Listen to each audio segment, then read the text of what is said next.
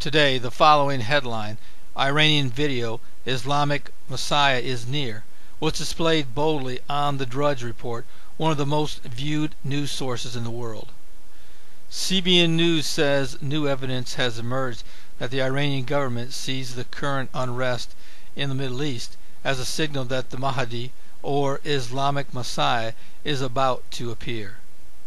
CBN News has obtained a never before seen video produced by the Iranian regime that says all the signs are moving into place and that Iran will soon help uh, usher in the end times.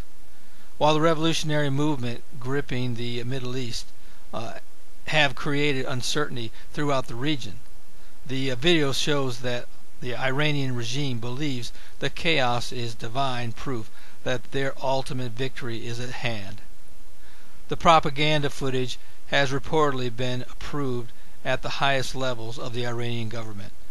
It's called The Coming is Near, and it uh, describes current events in the Middle East as a prelude to the arrival of the mythical 12th Imam, or Mahdi, uh, the Messiah figure whom Islamic scriptures say will lead the armies of Islam to victory over all non-Muslims in the last days. This video has been produced by a group called the Conductors of the Coming in connection with the Basij, the Iranian Parliamentary Force, and in collaboration with the Iranian President's Office, said Reza Khalili, a former member of Iran's Revolutionary Guards who shared the video with CBN News. Khalil, author of the book uh, A Time to Betray, worked as a double agent for the CIA inside the Iranian regime. Just a few weeks ago, Ahmadinejad's office screened this movie with much excitement for the clerics, Khalili uh, told the uh, uh, CBN News. The target audience is Muslims in the Middle East and around the world. To watch this video in its entirety, go to the link found in the description below uh, in this video. Uh, this video claims that Iran is uh, destined to rise as a great power in the last days to help defeat America and Israel and usher in the return of the Mahdi and it's and it makes uh, clear that Iranians believe the time is fast approaching. The Hadith have clearly described the events and the uh, various transformations of countries in the Middle East and also that of Iran in the age of the coming, said the narrator, who went on to say that America's invasion of Iraq was foretold by Islamic scripture and that the uh, Mahdi will uh, one day soon uh, rule the world from Iraq. The ongoing upheavals in other Middle East countries like Yemen, and Egypt, including the rise of the Muslim Brotherhood, are also uh, analyzed as prophetic signs that the Mahdi is near. So is the current poor health of the King of Saudi Arabia and Iranian rival. Isn't the presence of Abdullah, his illness, and his uncertain condition great news for those anxious for his coming? asked the narrator. Iran's supreme leader, Ayatollah Khomeini, and Hassan Nasrallah leader of Iran's terrorist proxy Hezbollah, are hailed as pivotal end times players whose rise was predicted in Islamic scriptures. The same goes for Iran's President Mahmoud Ahmadinejad, who the video says will conquer Jerusalem prior to the Mahdi's return.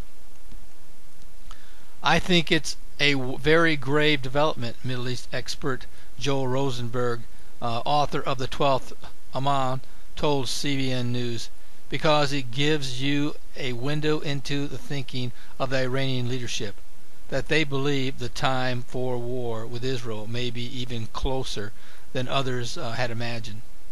Khalili says the coming is near will soon be distributed by the Iranian regime throughout the Middle East.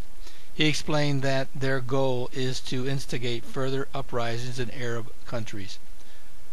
One thing that should be understood is it is well known that Islam's prophet Muhammad studied under both Christians and Jews uh, of his time, but was rejected by both religions due to his bizarre ideas.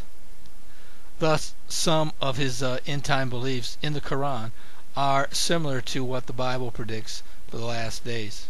For example, the Bible predicts an Antichrist will rise in the last days, accompanied by signs, and just so just so happens the Quran has its own version of the Antichrist, his activities, and the signs that will accompany his arrival, but with an alternate ending. I won't go into the whole story, but the Islamic Antichrist who will be a Jewish leader will be totally defeated by the rise of a unified Islamic world, ushering in the appearance of the 12th Imam. That's their story. As stated in the above CBN article, the Islamic world sees this Middle East uprising as a fulfillment of prophecy and sign that their Messiah is near. But that's where the similarities end between the Bible and the Quran. The truth is, the Bible doesn't just have a few sketchy signs that prove we are living in the end times.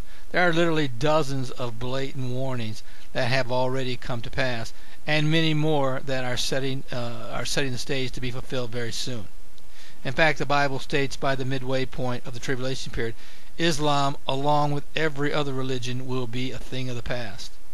Just like Christianity, Satan will have no tolerance for Allah the, the moon god of Islam.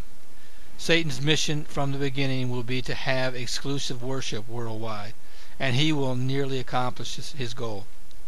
The Bible is clear all that dwell upon the earth shall worship him, which will be the Antichrist, whose names are not written in the book of life uh, of the Lamb slain from the foundation of the world.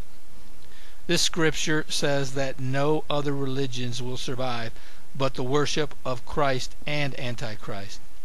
Once he has established control through his Antichrist, he will succeed in destroying the world religious system, including Islam. When Satan enters the Antichrist, he will exalt himself above every religion and God, including the God of Christianity, and demand personal worship. The Bible says, And he opened his mouth in blasphemy against God, to blaspheme his name and his tabernacle and them that dwell in heaven. This scripture proves that, this, that Satan will not use the Muslim religion to trick the world into worshiping him. The Quran specifically asserts that the God of Islam is the God of Christians and Jews, but that they have corrupted the scriptures, making the Quran the new book of God. So by exalting the God of Islam, Satan would be exalting the God of the Bible. Satan will have no part of that. Actually, it is my belief that Islam will fall early in the tribulation period after its miraculous defeat by the true God of Israel at the Battle of Gog and Magog. Following this great defeat, I speculate that this will spark a mass exodus from the religion of Islam and other religions to Christianity, but not without a cost.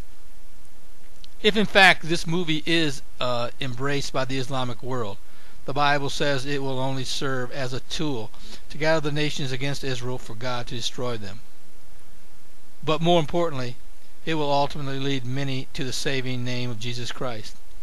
What man will purpose for evil, God will glorify himself and use this opportunity to open up a door to his saving grace. This is Terry Malone with the Calvary Prophecy Report.